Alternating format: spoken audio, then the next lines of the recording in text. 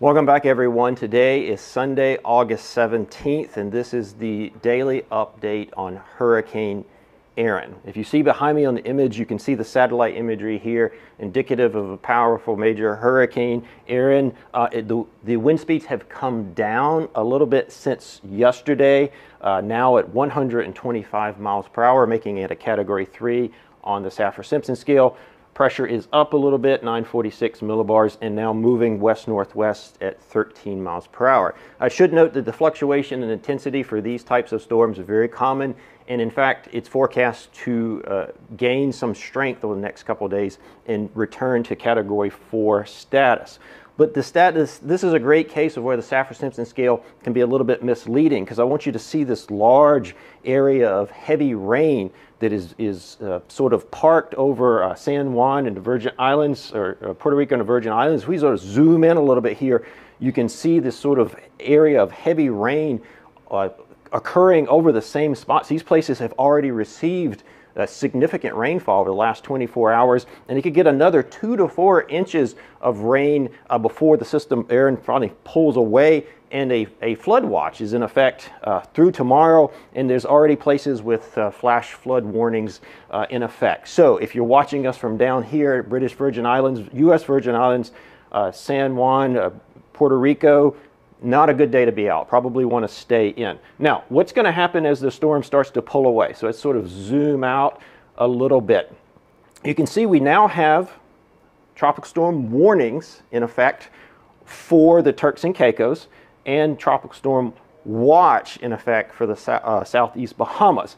Another great example of why the cone doesn't tell you this. If you sort of look at this big satellite image and project it along, you can see where we're going to clip the areas of the southeast Bahamas um, and uh, Turks and Caicos with these strong, gusty squalls, heavy rains, and winds. But many of you are probably uh, tuning in to see what's going to happen down the road. Still anticipating a turn to the north and ultimately northeast by middle and late week uh, staying offshore of the eastern United States, but getting perilously close to the outer banks of the Nor uh, North Carolina. So let's look at the forecast uh, wind field. This is the extent of tropical storm force winds.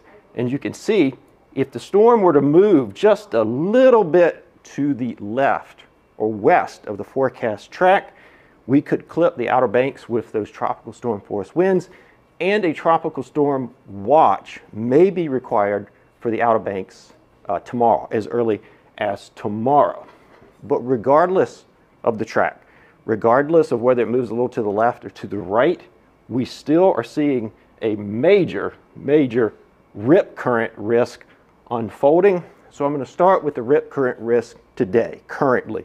You can see it's a little bit of a rip current risk starting to unfold but look what happens when I change it to tomorrow. You can really see the rip current reds here, rip current high risk starting to fill in along the coast, and that's only going to get worse as the week progresses. Why, you ask? Because this system is going to produce a massive wave, ocean wave field. The colors here show you the extent of the wave field. You can see it basically encompasses the entire western Atlantic and eastern seaboard. As these waves come and strike the coast, all that energy is going to break with these big breakers at the coastline, and that's going to increase the rip current risk significantly through the week. So things start to go downhill tomorrow and get progressively worse through the week. So if you're going to the beach this week, swim near a lifeguard, check local beach conditions, and just be mindful and safe if you're going to go to the beach. Now, we'll be back tomorrow at the same time with an update. But please remember, we uh, update our forecast every six hours or four times a day, and you can always get the latest information at hurricanes.gov.